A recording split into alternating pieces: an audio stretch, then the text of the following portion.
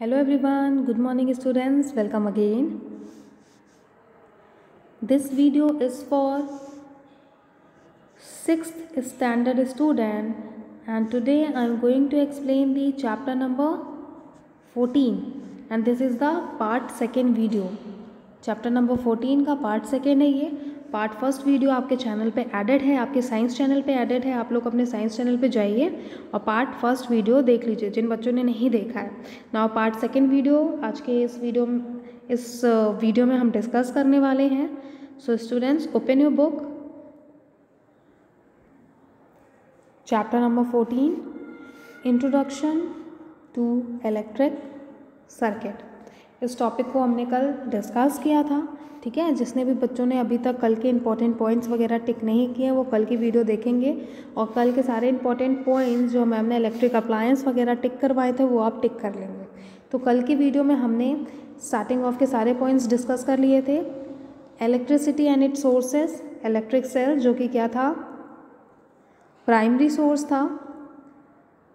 Secondary में mobile phones cameras और laptops की बैटरी आ जाती हैं। फिर उसके बाद बैटरी। ये सारी चीज़ें हमने कल के क्लास में डिस्कस कर लिया। जिन बच्चों ने कल का वीडियो नहीं देखा है, वो देख लेंगे चैनल पे जाके। नाउ, आज हम इसके आगे का पार्ट डिस्कस करेंगे। कल की क्लास में प्रैक्टिकल टास्क नंबर फ़र्स्ट भी डिस्कस हो चुका है। Now our today's topic is mains what is mains okay pen select कर लेते हैं पहले। सो so, क्लास आप लोग ने अपने घर में ऐसा मेंस इलेक्ट्रिक बोर्ड देखा होगा ठीक है? आप लोगों ने अपने घर में ऐसा मेंस इलेक्ट्रिक बोर्ड देखा होगा जो कि मेन जगह पे होती है जहाँ से क्या होती है इलेक्ट्रिक करंट या इलेक्ट्रिक चार्जेस फ्लो होके हमारे पूरे घर के अप्लायंस तक पहुँचते हैं ठीक है? और ऐसा पावर स्टेशन भी आप लोगों ने देखा होगा। नाव यहाँ पे क्या दिया है मेंस में? इसे थोड़ा सा जूम कर लेते हैं। Select the pen now the electricity we get in our houses is generated from या generated in power stations from power station it is carried to our home home through cables है और wires आप सबने देखा है पूरे रास्ते में, या आप लोग देखेंगे पूरे इलाहाबाद में हर जगह पे वायर्स फैले हुए हैं। वायर्स क्या करते हैं? एक जगह से दूसरी जगह पे इलेक्ट्रिसिटी क्या करते हैं? पहुँचाने का काम करते हैं। We get the electricity at the mains electric board हमारे घर में भी electric board mains electric board ऐसा एक एरिया है, जहाँ पर ये सारी चीज़ें लगी हुई हैं, और वहाँ से हमारे घर में इलेक्ट्रिसिटी पहुँच जाती है। ठीक है? पावर स्टेशन से इलेक्ट्रिसिटी हमारे शहर आती है, फिर शहर से हमारे ऐसे ऐसे जगह पे पहुँच जाती है, ठीक है? We get the electricity at the main electric board where the electric meter is fixed in our house from the mains electric board the electricity is distributed to different rooms in houses through wires तो हमारे घर का ये जो main switch होता है या mains electric board जो आपके स्क्रीन पे दिख रहा है और प्लस आप लोग को कब, जब भी साइंस की क्लास करना है तो अपनी बुक लेके करना है। बुक में आप लोग देखेंगे figure number fourteen point six mains electric board आपके घर में है।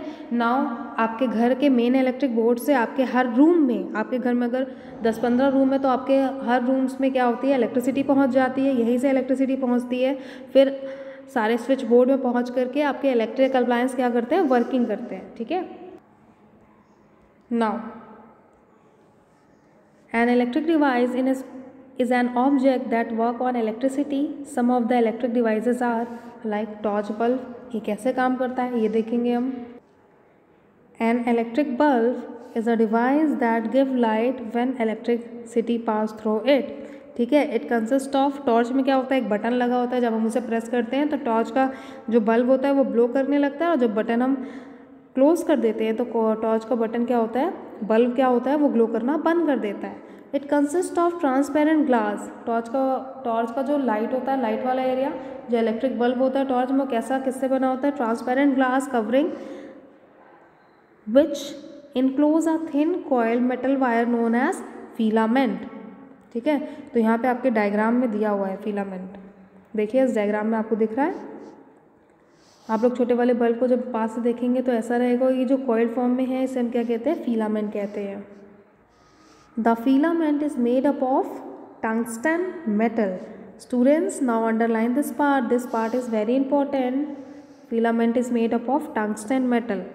Underline कर लीजिए और कमेंट बॉक्स में आप लोग कमेंट करके बताएँगे हमेशा जब भी आप कमेंट बॉक्स में कमेंट करेंगे तो अपना नेम और सेक्शन ज़रूर ऐड करेंगे। जैसे कि सेवन्थ और एट्थ क्लास के स्टूडेंट्स और बच्चे करते हैं, ठीक है? वैसे ही आपको करना है। तो किससे बना होता है? फिलामेंट टंगस्टेन से बना होता है underline this part the filament is connected to two thick wires they provide support to the filament ठीक है? यहाँ पे आप लोग देखेंगे। ये जो फिलामेंट है आप सबको पता चल गया, ये हमारा जो कॉयल फॉर्म है, ये फिलामेंट है और फिलामेंट किससे कनेक्टेड है? ये टू थिक वायर से कनेक्टेड है, जो इसे क्या करता है? सपोर्ट करता है। They provide support to the filament one of these wire is connected to the metal case at the base of the bulb and the other thick wire is connected to the metal tip present at the centre of the base तो दोनों thick wire कहाँ से connect होते हैं? एक तो base से connected होता है और एक टिप से कनेक्टेड होता है। These two terminals do not touch each other. The filament of the bulb glows when electricity flow through it. ठीक है फ़िल्म कब ग्लो करता है जब उसमें से इलेक्ट्रिसिटी पास होती है if the filament of the bulb breaks it will not glow such a bulb is said to be fused okay students if the filament of the bulb breaks it will not glow such a bulb is said to be fused जब भी bulb हमारा fuse हो जाता है तो क्या होता है, उसका अंदर का जो फिलामेंट होता है ना, वो ब्रेक हो चुका होता है। इसलिए बल्ब जो होता है, वो फ्यूज़ हो चुका होता है। नाउ इलेक्ट्रिक टॉर्च के बारे में हम यहाँ पे पढ़ेंगे।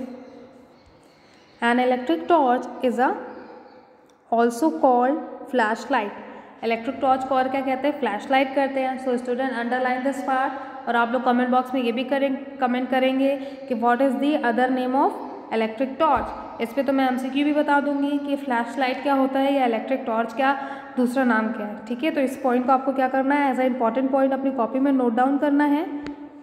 An electric torch is also called a flashlight आपका जब भी स्कूल खुलेगा तो मैं ये सारे पॉइंट्स चेक करने वाली हूँ।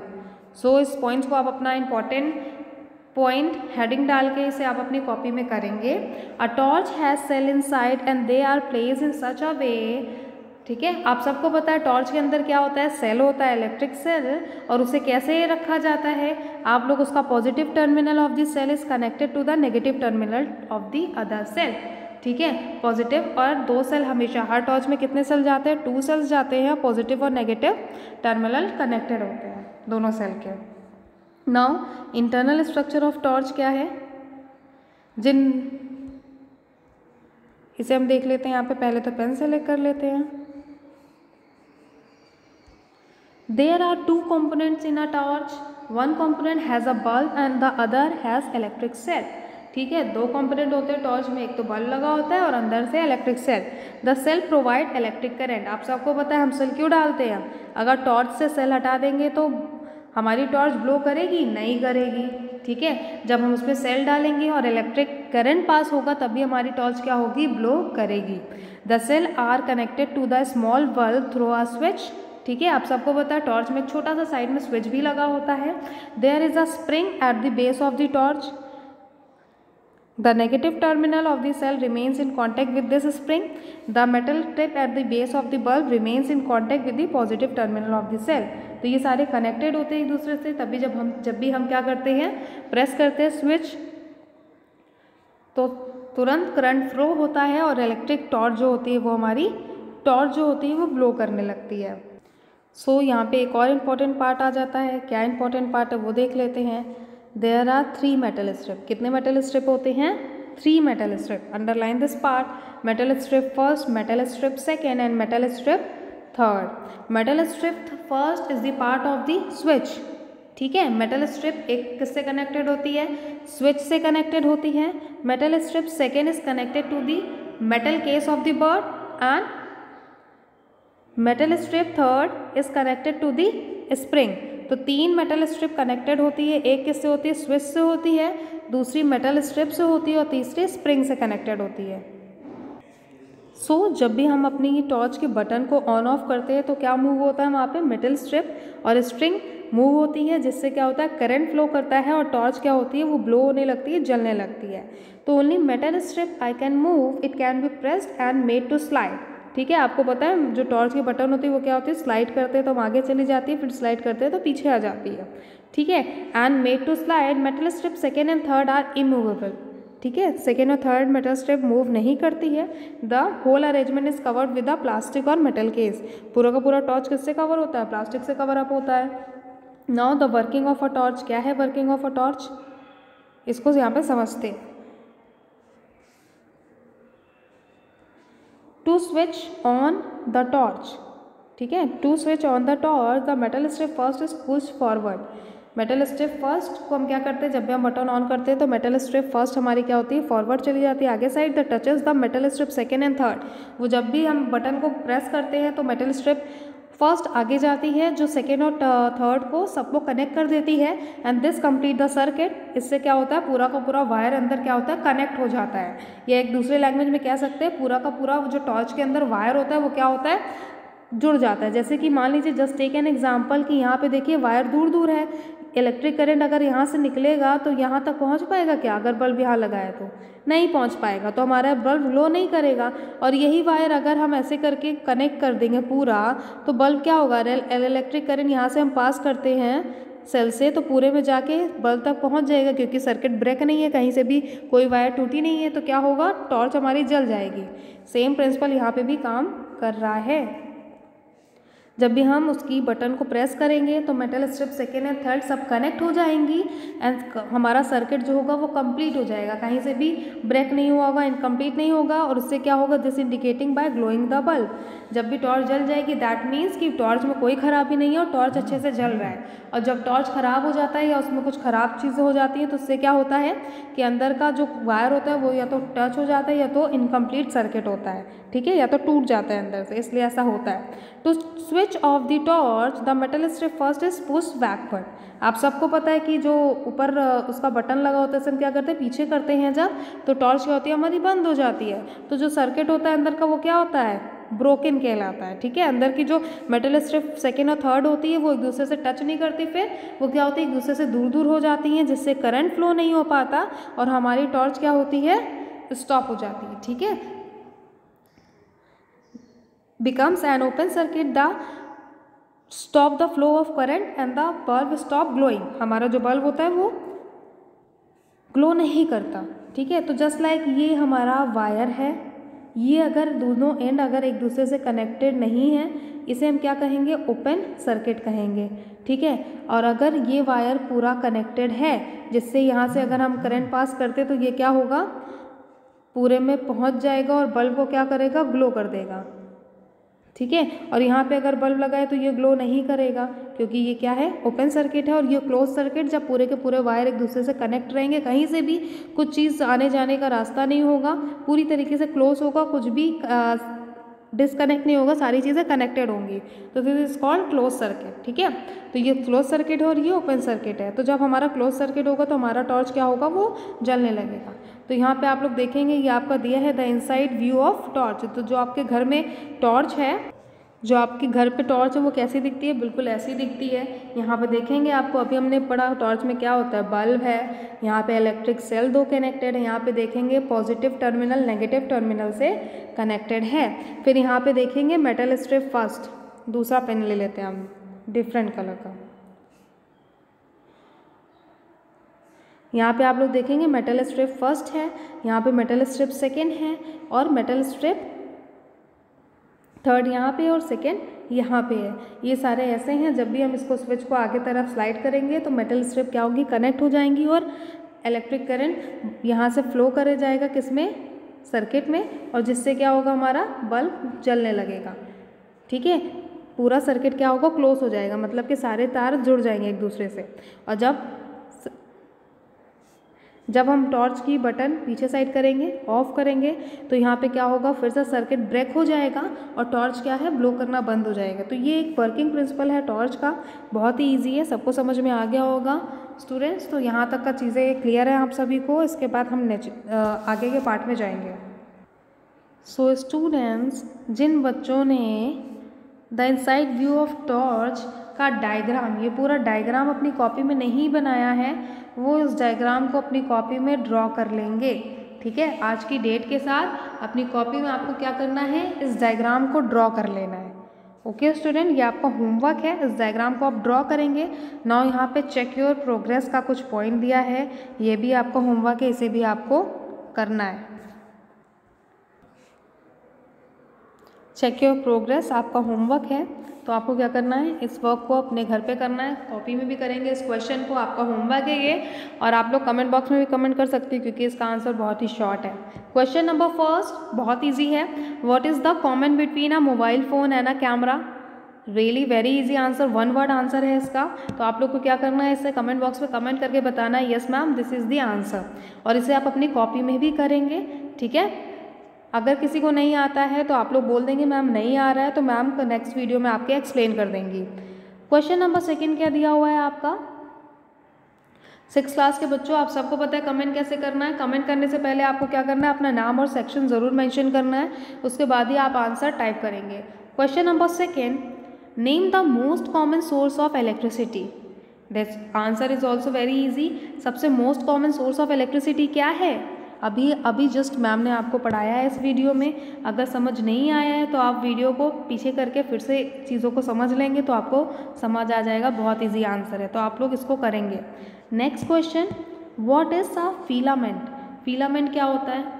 This question is also very easy filament क्या होता है? किससे बना होता है? अभी जस्ट मैम ने उसे तो अंडरलाइन भी कराया है इस पार्ट को तो आप ये भी कर लेंगे। Now next question question number four क्या है question number four name a device you have at your home in which we use a battery ऐसे डिवाइस बताइए जो आपके घर में है और जिसमें आप बैटरी का इस्तेमाल करते हैं। This question is also very easy तो आप लोग को कमेंट बॉक्स में फटाफट कमेंट करना है और अपनी कॉपी में भी ये दोनों क्वेश्चन को सॉरी पाँचों क्वेश्चन को आपको अपनी कॉपी में कर लेना है। Question number five fill in the blanks है। The dash present inside this cell produce electricity cell के अंदर क्या होता है? जिससे इलेक्ट्रिसिटी प्रोड्यूस होती है very easy now fill in the blanks number second a cell has dash terminal cell के पास कौन कौन से टर्मिनल्स होते हैं? ये बता दीजिए आप लोग. तो ये पाँचों क्वेश्चंस बहुत ही ईजी हैं और आप लोग इसे फटाफट पाँचों क्वेश्चंस को आप लोग अपनी कॉपी में करेंगे और आंसर मुझे भी बताएँगे. That is a homework so students ये सारे क्वेश्चन आपके होमवर्क हैं। इसके बाद हम डिस्कस करेंगे electric circuit so this part is also very interesting and काफ़ी अच्छा पार्ट है, समझने वाला है। इलेक्ट्रिक सर्किट क्या होता है? आप सबके घर में इलेक्ट्रिक सर्किट है और उसे क्या होता है? वो किससे किससे कनेक्टेड होता है? ये हम नेक्स्ट क्लास में करेंगे। तो आपको क्या करना है? आपके यहाँ पे दो होमवर्क हो गए आज की क्लास में। एक होमवर्क दिया है मैम ने आपको। आपको जिसकी कॉपी में अभी तक the inside view of torch का डायग्राम नहीं बना है, वो डायग्राम ये वाला डायग्राम बनाएँगे, ठीक है? ये टॉर्च का डायग्राम बनाएँगे, इसमें इलेक्ट्रिक सेल दिखाएँगे, इसमें आप लोग देखेंगे, जो मैम ने आपको बताया सेल पॉजिटिव और नेगेटिव टर्मिनल से कनेक्टेड होते हैं मेटल स्ट्रिप कनेक्टेड होती है इसके बाद, ठीक है? तीन मेटल स्ट्रिप होती है, और यहाँ पे बल्ब भी है रिफ्लेक्टर है ठीक है? अंदर ग्लासेस लगे होते हैं ना यहाँ पे उसे हम रिफ्लेक्टर कहते हैं, जिससे क्या होती है, रोशनी रिफ्लेक्ट होती है तो टॉर्च की रोशनी जितनी ज़्यादा फैलेगी, उतनी दूर तक जाएगी, ठीक है? और इसके बाहर टॉर्च के बाहर जैसे हम पकड़ते हैं टॉर्च को वो क्या है प्लास्टिक की कवरिंग होती है, जो आप लोग देखेंगे विलेज साइड में एक टॉर्च होती है, जिसमें एलमिनियम की भी कवरिंग होती है। तो टॉर्च में मोस्टली क्या होती है, प्लास्टिक की कवरिंग वाले टॉर्च आज के टाइम पे आने लग गए हैं। अब एलमिनियम की कवरिंग वाले टॉर्च बहुत ही कम मार्केट में अवेलेबल है, ठीक है? तो यहाँ पे एक स्विच भी प्रेजेंट होता है, स्विच भी प्लास्टिक का होता है। आप लोग देखेंगे स्विच को क्या करना होता है हमें? यहाँ पे देखेंगे स्लाइड स्विच लिखा हुआ है। स्विच कौन से होते हैं? स्लाइड वाले होते हैं, जैसे हम स्लाइड करके आगे ले जाते हैं और स्लाइड करके पीछे भी ले आते हैं, बैकवर्ड, ठीक है? After that metal switch contact यहाँ पे देखेंगे आप लोग वायर क्या है डिसकनेक्ट है अभी, जब भी हम स्विच को ऑन करेंगे, ये दोनों वायर क्या होती है कनेक्ट हो जाती है और अंदर करंट फ्लो कर जाता है, जिससे जो टॉर्च होती है, उसकी बल्ब जो होती है, वो ग्लो कर जाती है। तो ये जिसकी कॉपी में ये डायग्राम नहीं बनाए वो बना लेंगे। और दूसरा आपका ये जो नीचे आपकी बुक में दिया हुआ है चेक योर प्रोग्रेस आपको the inside view of torch आपको अपनी कॉपी में बनाना है। एंड चेक योर प्रोग्रेस के पाँचों क्वेश्चन को चेक योर प्रोग्रेस के पाँचों क्वेश्चन को आपको क्या करना है? अपनी कॉपी में करना है कंप्लीट ठीक है? बहुत इजी क्वेश्चन है इजली हो जाएगा। अगर आपने पूरी वीडियो को अच्छे से समझ ली है तो आप लोग करिए। जहाँ पे नहीं समझ में आता है तो आप लोग सीको ऐप के थ्रू पूछ सकते हैं। ठीक है? सो so, आज की क्लास यहीं पे एंड होती है। Thank you